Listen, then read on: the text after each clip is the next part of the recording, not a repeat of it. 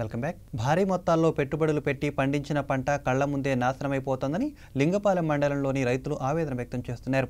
మండల వ్యాప్తంగా సుమారు రెండు వేల ఎకరాల్లో రైతులు బొప్పాయి పంట సాగిస్తున్నారు.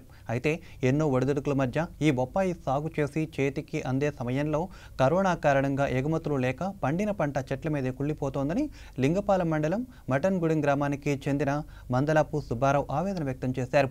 కొనే నాదుడు లేకపోవడం వలన పెట్టిన పెట్టుబడి కూడా దక్కటం లేదని చెప్పారు. గత ఏడాది టన్ను పదివేల రూపాయలకు అమ్మకాలు జరిగాయని ఈ ఏడాది కూడా ఆశించిన ధర లభిస్తుందన్న ఆశతో బొప్పాయి పంట సాగు చేసి నాశనమయ్యామంటూ ఆవేదన వ్యక్తం చేశారు. ఒక ఎకరం అసలు కొయ్యలేకపోయాను. కాయలు తోటలోనే గుళ్ళిపోతున్నాయి ఇప్పుడు. మరి ప్రభుత్వం వారు ఇవ్వాల్సిన సబ్సిడీని మొక్కకి ఇవ్వాల్సిన సబ్సిడీని కూడా ఎనిమిది మాసాలైనా మొక్క నాటి ఈ రోజుకి ఇవ్వలేదు. మరి ఈ బొప్పాయి రైతుల ఆక్రోధన విని ప్రభుత్వం వారు వెంటనే స్పందించి ఎవరెవరు ఈ మండలంలో దాదాపు నాకు తెలిసి రెండు వేల ఎకరం పైన ఉంది.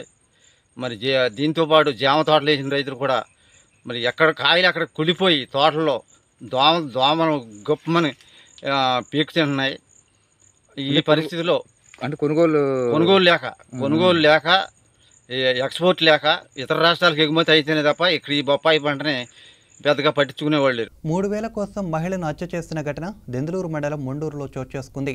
ఈ నెల ఏడవ తేదీన పోలవరం కుడికాలువ సమీపంలో గుర్తు తెలియని మహిళ మృతదేహం ఉండటాన్ని గుర్తించిన స్థానికులు పోలీసులకు సమాచారం ఇచ్చారు. కుళ్ళిన స్థితిలో ఉన్న మృతదేహం మెడకు చుండి బిగించి ఉండటాన్ని గమనించిన పోలీసులు హత్యగా భావించి కేసు నమోదు చేశారు.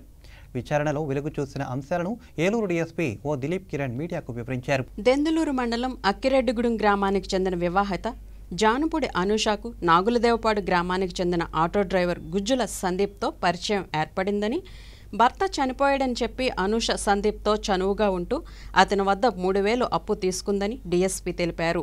లాక్డౌన్ ప్రభావంతో కిరాయిలు లేక ఆటో ఫైనాన్స్ కట్టాల్సి రావడంతో అనూషకి ఇచ్చిన డబ్బులు ఇవ్వాల్సిందిగా సందీప్ కోరాడు.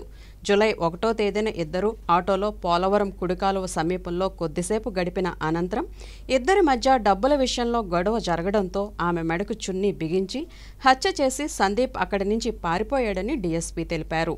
వారం రోజుల తర్వాత మృతదేహాన్ని గుర్తించిన స్థానికులు పోలీసులకు సమాచారం ఇవ్వడంతో విచారణ చేపట్టి నిందితుడిని అదుపులోకి తీసుకున్నట్లు డీఎస్పీ దిలీప్ కిరణ్ మీడియాకు వివరించారు. కేసును వేగంగా ఛేదించిన రూరల్ సీఏ శ్రీనివాసరావు ఎస్ఐలు నాగవెంకటరాజు సురేష్లను డీఎస్పీ అభినందించారు. స్థితిగతులను బట్టి కుళ్ళిపోయి పా పాడైపోయిన స్టేజ్లో ఉంది. ఐడెంటిఫై చేయలేని పరిస్థితుల్లో కనబడింది.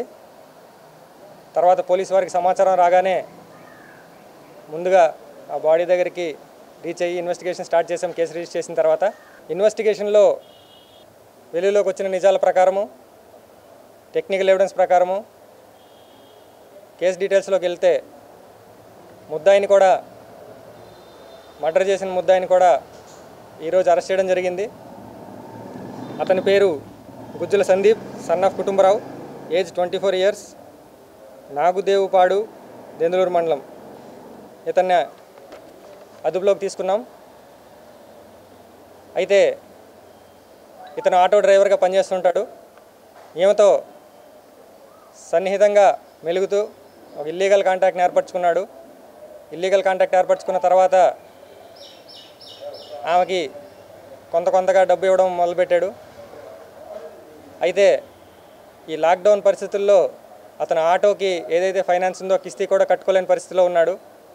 ఆ తర్వాత ఈమెతో చిన్న ఘర్షణ ఘర్షణలు వచ్చాయి. ఇద్దరికి మధ్యన చిన్న చిన్న డిస్ప్యూట్స్ వచ్చాయి. అందులో భాగంగా ప్లాన్ చేసి ఎలా అయితే రెగ్యులర్గా వాళ్ళు ఇల్లీగల్ కాంటాక్ట్ మెయింటైన్ చేస్తూ ఆమెని పిలుస్తాడో అదేవిధంగా ఎవరూ లేని ప్రదేశానికి తీసుకొచ్చి ఆమెను అక్కడ తీసుకెళ్ళి కలియడం జరిగింది. కలిసిన తర్వాత మళ్ళీ ఈ డబ్బుల కోసం ప్రస్తావన వచ్చింది. వచ్చిన తర్వాత ఆ నిక్ ఆఫ్ ద మూమెంట్లో ఇమీడియట్గా అతను ఏం చేస్తే ప్లాన్ చేశాడో ఆ చున్నీతో మెడలో బిగించి ఊపిరాడకుండా చేసి అక్కడ హత్య చేయడం జరిగింది. హత్య చేసిన తర్వాత అతను మళ్ళీ ఏవైతే ఈ ఎవిడెన్సెస్ ఉన్నాయో అన్నీ కూడా మాయం చేయడానికి ప్రయత్నం చేశాడు. కార్మికులు రైతులు వ్యవసాయ కార్మికులు కౌలు రైతుల సమస్యలపై ఈ నెల ఇరవై రెండు వరకు ప్రచారం. ఇరవై మూడున నిరసన కార్యక్రమాలు నిర్వహిస్తున్నట్లు సిఐటియు రైతు సంఘం వ్యవసాయ కార్మిక సంఘం మండల రౌండ్ టేబుల్ సమావేశంలో ఆయా సంఘాల నాయకులు చెప్పారు. పెదపాడులోని నర్ర ఆంజనేయులు భవనంలో జరిగిన సమావేశంలో రైతు సంఘం జిల్లా కార్యదర్శి కె. శ్రీనివాస్ మాట్లాడుతూ కార్మిక చట్టాలకు కేంద్ర మోడీ ప్రభుత్వం తూట్లు పొడుస్తోందని విమర్శించారు. కార్మిక హక్కులను హరించేలా చట్టాలను మార్చడం పని గంటలు పెంచడం తగదన్నారు. రైతుల రుణాలను పూర్తిగా మాఫీ చేసి తిరిగి పంట రుణాలు ఇవ్వాలని డిమాండ్ చేశారు. ఈ కార్యక్రమంలో రైతు సంఘం మండల అధ్యక్షులు లింగం కృష్ణారావు కార్యదర్శి గుండపనేని సురేష్ సిఐటియు నాయకులు రెడ్డి లక్ష్మణరావు షేక్ కరీముల్లా ముసునూరి కొండలరావు తదితరులు పాల్గొన్నారు. పెద్ద ఎత్తున ఆందోళన కార్యక్రమాలు చేయాలని చెప్పేసి పిలిపివ్వడం జరిగింది. అందులో భాగంగా ఈ నెల ఇరవై రెండో తారీఖు వరకు పెద్ద ఎత్తున ప్రచార కార్యక్రమం అంటే దేశవ్యాప్తంగానే ఈ నాలుగు సంఘాల పిలుపు మేరకు పెద్ద ఎత్తున ప్రచార కార్యక్రమం జరుగుతూ ఉంది. ఈ నెల ఇరవై రెండో తారీఖు వరకు వేలాది కరపత్రాలతోటి ప్రచార కార్యక్రమాన్ని నిర్వహిస్తా ఉన్నాం.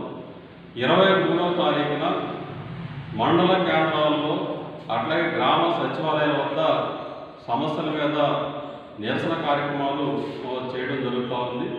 కాబట్టి ఈ కార్యక్రమాల్లో రైతులు వ్యవసాయ కార్మికులు కార్మికులు అలాగే కౌలు రైతులందరూ కూడా విస్తృతంగా పెద్ద ఎత్తున పాల్గొని చెప్పేసి విజ్ఞప్తి చేస్తా ఉన్నాం.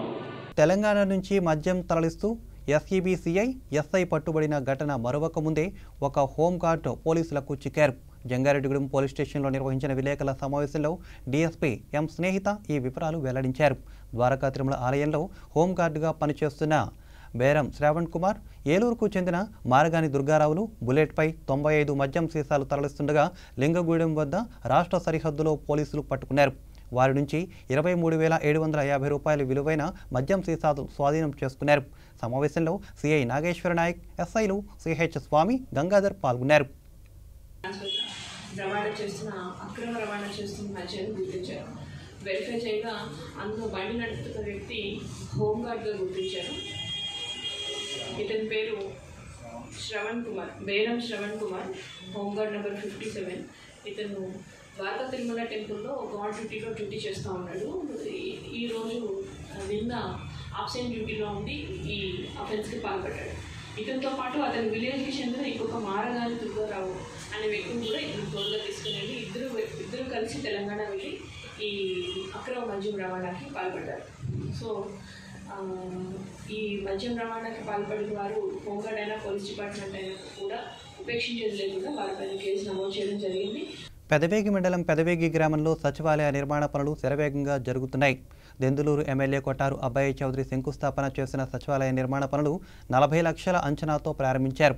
ఈ సందర్భంగా గ్రామ వైఎస్ఆర్ పార్టీ నాయకులు తాతా సత్యనారాయణ మాట్లాడుతూ గతంలో ఉన్న భవనం శిథిలావస్థకు రావడంతో నూతన భవన నిర్మాణం సచివాలయం కోసం మొదలుపెట్టినట్లు తెలిపారు. ముఖ్యమంత్రి వైఎస్ జగన్మోహన్ రెడ్డి సచివాలయాల నిర్మాణానికి ప్రత్యేక నిధులు కేటాయించడంతో భవన నిర్మాణ పనులు వేగంగా సాగుతున్నాయన్నారు. పెదవేగి గ్రామ సచివాలయం యొక్క కార్యాలయ భవనం అండి. మన ప్రీతం ముఖ్యమంత్రి గారు జగన్ గారి అనుజ్ఞ ప్రకారం మన ప్రీతం ఎమ్మెల్యే దెందూరు శాసనసభ్యులు కొటారు అభయ్ చౌదరి గారి చొరవతో వారి శంకుస్థాపన చేసి ప్రారంభించారండి ఇటీవలే. ఇది చాలా త్వరితగతిన అంటే సుమారు నెల రోజుల్లో అన్ని హంగులు పూర్తి చేసుకుని అన్ని పనులు పూర్తి చేసుకుని సచివాలయం కార్యాలయానికి తొందరలోనే అప్పచెప్పించగలమని ఆశిస్తున్నామండి. పోతే ఏంటంటే ఇది అంచనా విలువ సుమారు నలభై లక్షల రూపాయలు. పోతే రెండు అంతస్తుల భవనం అండి. ఇది కాకుండా వేరే రైతు భరోసా కూడా మంజూరు చేస్తున్నారు. అది వేరే చోట పురమాయించడం జరిగింది. అది కూడా త్వరితగతిన పూర్తి చేసి గ్రామ ప్రజలకు మరియు రైతాంగానికి కూడా అన్ని రకాల సదుపాయాలు ఏర్పాటు చేయటానికి జగన్ గారి యొక్క ఆదేశాల ప్రకారం మన ప్రీతం ఎమ్మెల్యే గారు కొటార అబ్బాయి చౌదరి గారు కూడా చాలా చొరవ తీసుకుని త్వరితగతిన దీన్ని పూర్తి చేయించే సంకల్పంలో ఉన్నారు. చింతలపూడి తెలుగుదేశం పార్టీ పట్టణ కమిటీ సమావేశం ఆదివారం నియోజకవర్గ కన్వీనర్ డాక్టర్ కర్ర రాజారావు అధ్యక్షతన జరిగింది. కార్యక్రమంలో పలువురు మాట్లాడుతూ పౌర హక్కులను హరించే విధంగా ప్రభుత్వ విధానాలు ఉన్నాయంటూ ధ్వజమెత్తారు. ప్రతిపక్ష నేతల నోరు నొక్కే విధంగా అధికార పార్టీ అక్రమ కేసులు బనాయిస్తుందంటూ విమర్శించారు. ఇళ్ళ స్థలాల పంపిణీకి అనర్హులను గుర్తించారని దీనిపై సమగ్ర విచారణ జరిపించాలని డిమాండ్ చేశారు.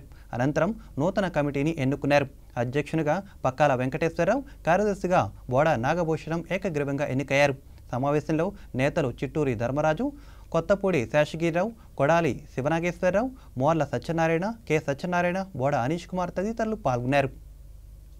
పార్టీ నూతన అధ్యక్షులుగా ఎన్నిక కాబట్టడం జరిగింది.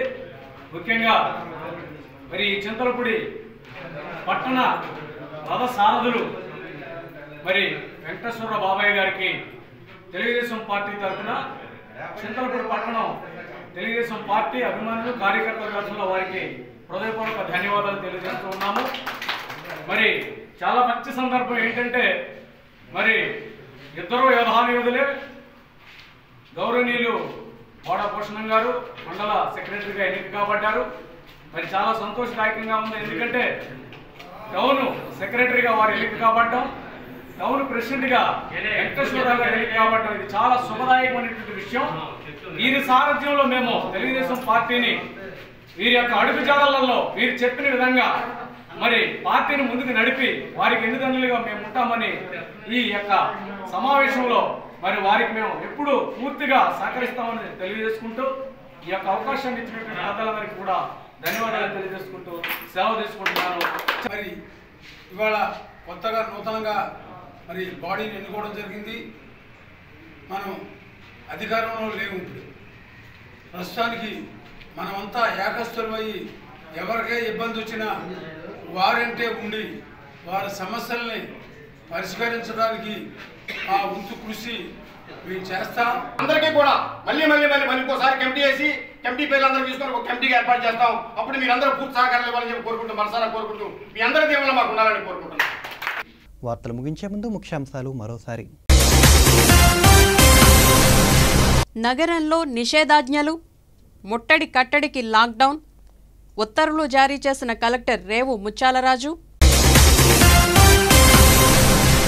పశ్చిమలో మహమ్మారి కట్టడికి మళ్ళీ ఆంక్షలు ఉదయం ఆరు నుంచి పదకొండు గంటల వరకు వెసులుబాటు. సమస్యలు తెలుసుకునేందుకు ప్రజాబాట పట్టిన ఎమ్మెల్యే కొండలరావుపాలెంలో మార్నింగ్ వాక్ చేసిన కొటారు అబ్బయ్య చౌదరి. నిలువెల్లా నిర్లక్ష్యం ఎక్కడ చూసినా జనసంచారమే. గీత దాటితే దండన తప్పదు. ఏసీటీ న్యూస్తో డీఎస్పీ దిలీప్ కిరణ్. లాక్డౌన్ను స్వాగతిస్తున్నాం. సహకారం అందిస్తామన్న ఛాంబర్ ప్రతినిధులు. ఇక ఇవి ఇప్పుడు వరకున్న అప్డేట్స్. మరిన్ని తాజా అప్డేట్స్తో నెక్స్ట్ బులెటిన్ మన వార్తలతో మళ్ళీ కలుద్దాం. Keep watching A city news